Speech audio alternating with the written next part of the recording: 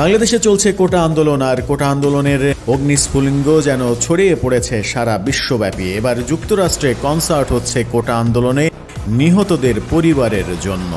নিহত শিক্ষার্থীদের পরিবারের পাশে দাঁড়াতে এই কনসার্টের উদ্দেশ্য আর্থিক তহবিল সংগ্রহ এমনটাই জানানো হয়েছে। যে অর্থ বাংলাদেশের কোটা সংস্কার আন্দোলনে নিহত শিক্ষার্থীদের পরিবারকে দেয়া হবে। কনসার্টের শিরোনাম দেয়া হয়েছে শহীদ স্মরণে। কনসার্টটি আয়োজন করেছে যুক্তরাষ্ট্রের জর্জিয়া রাজ্যের আটলান্টা শহরে বসবাসরত বাংলাদেশি শিক্ষার্থীরা। সামাজিক যোগাযোগ মাধ্যমে এই তথ্য জানিয়েছে আয়োজক প্রতিষ্ঠান ভেন্ড এক্স আউট। কনসার্টের পোস্টারটি শেয়ার করেছে পপাই সহ বেশ কিছু ব্যান্ড। দেবাশিস চক্রবর্তীর আঁকা রক্তিম সেই পোস্টারে লেখা হয়েছে, কনসার্টের সমস্ত আয় সরাসরি বাংলাদেশে কোটা সংস্কার আন্দোলনের সময় নিহত হওয়া শিক্ষার্থীদের পরিবারকে দেয়া হবে। এই আয়োজন এবং আয়োজকদের মধ্যে কোনো রাজনৈতিক সংশ্লিষ্টতা নেই।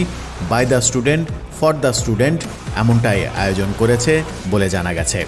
আরও জানা গেছে, আগামী আঠারো আগস্ট বেলা একটায় অনুষ্ঠিত হবে এই কনসার্ট। এই কনসার্টের ভেনু জর্জিয়ার লিলবার্ন শহরের মিউজিক অন মেইন স্ট্রিট। কোনো দেশের সামাজিক, রাজনৈতিক অবস্থা খারাপ হলে, কোনো দেশ যুদ্ধ বিধ্বস্ত হলে, সেই দেশের পাশে দাঁড়ানো শিল্পীদের ঐতিহাসিক ব্যাপার, এটা আমরা আগেও দেখেছি। বাংলাদেশের মুক্তিযুদ্ধের সময় কনসার্ট ফর বাংলাদেশ সব থেকে আলোচিত ঘটনাগুলোর মধ্যে অন্যতম বাংলাদেশের মুক্তিযুদ্ধের ইতিহাস যার সাক্ষী দেয়।